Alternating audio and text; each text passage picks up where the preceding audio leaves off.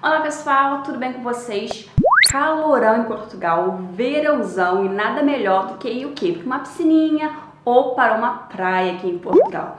Eu já fiz vários vídeos essas últimas duas semanas aqui no canal falando sobre praias aqui em Portugal. Então eu falei sobre a Costa Lentejana, falei sobre o Algarve, dei uma pincelada aí nas melhores praias que tem para você conhecer aqui em Portugal, mas hoje eu quero falar sobre piscinas, sobre piscinas municipais aqui em Portugal. É muito comum, tem muitas cidades e muitas vilinhas, né, aqui em Portugal que tem as piscinas municipais. E, gente, vale muito, muito a pena, tá? O que, que são as piscinas municipais? Elas não são gratuitas, mas elas têm um precinho, assim, muito, muito pequenininho. Então, tem várias famílias que juntam é, nos finais de semana, ou mesmo dia de semana, mas claro, final de semana é muito mais comum, né? Normalmente as pessoas trabalham dia de semana, no final de semana eles juntam a família para ir nessas piscinas municipais. Claro que o valor, o valor ele varia, né, de piscina para piscina, mas normalmente aí o que se paga é de 2,50 a 3 euros. Eu fui numa piscina municipal uh, alguns dias aí atrás e foi bem interessante. Eu fiz umas filmagenzinhas para vocês terem uma ideia de como que é essa piscina. Claro que varia de piscina para piscina, mas no geral elas possuem basicamente os mesmos serviços, tá bom? Algumas mais, outras menos, umas maiores, outras menores, mas basicamente o funcionamento das piscinas públicas aqui em Portugal é a mesma, né? O objetivo é oferecer um lugar tranquilo, divertido, com, com bom clima, boa piscina para as famílias é, desfrutarem desse momento em família, né? Nessa piscina que eu fui, o valor para adulto era 3 euros, para criança 1,50 e para estudante também 1,50. É, o engraçado é que eu cheguei lá e eu tinha esquecido de levar minha carteirinha de estudante. Mas eu cheguei lá, ela perguntou se eu era estudante, eu estava disposta a pagar os 3 euros, né? Como já, o erro foi meu de não ter levado, mas ela perguntou: Você é estudante? Eu falei: Sim, sou, mas eu não trouxe minha carteirinha.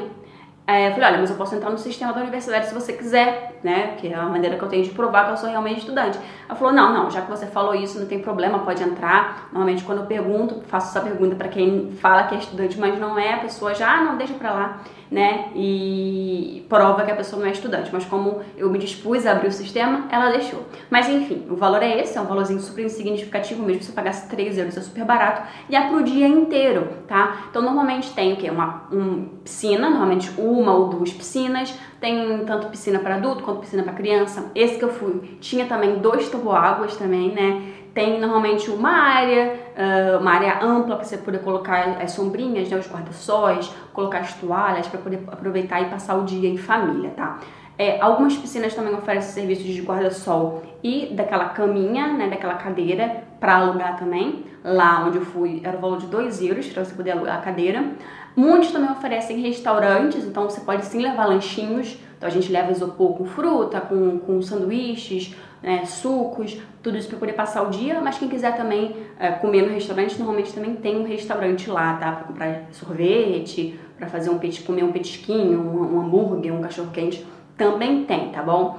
Algumas piscinas também oferecem serviços durante a semana, semana, serviços, por exemplo, de natação. A piscina aqui de Évora, por exemplo, oferece o serviço de natação. Então tem natação, tem hidroginástica, claro que você paga, você pode pagar o valor diário, ou então você pode fechar o pacote mesmo uh, mensal das aulas. Então também tem essa opção. Além de abrir nos horários de lazer, né, para toda a população, também tem alguns horários fechados mesmo para as turmas aí de natação e de hidroginástica, tá bom? Então é uma ótima opção aí para quem tá nesse verãozão aqui em Portugal, não sabe o que fazer, precisa se refrescar, né? Quem sabe você juntar aí a sua família, pagar um valorzinho super insignificativo e ir para um lugar super bacana, super acolhedor, com piscina, né? Com diversão. É, nada melhor do que estar junto com a família, né? E, poxa, esses lugares são realmente maravilhosos. Eu fui na, acho que é uma vila de Gouveia, eu acho que é uma vila, é, um, é bem pequenininha, acho que não chega a ser uma cidade, tá?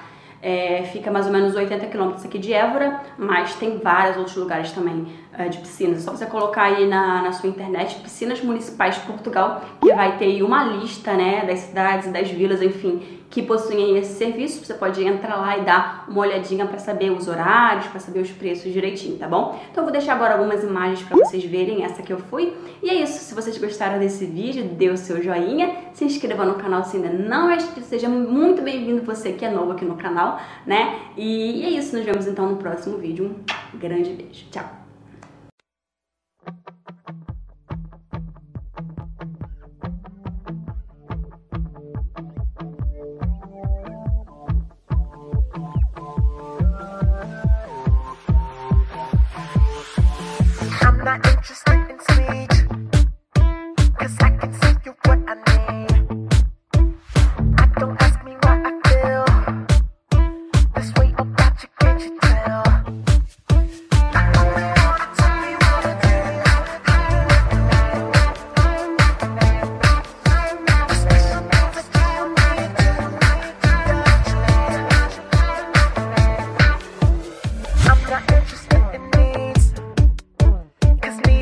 since I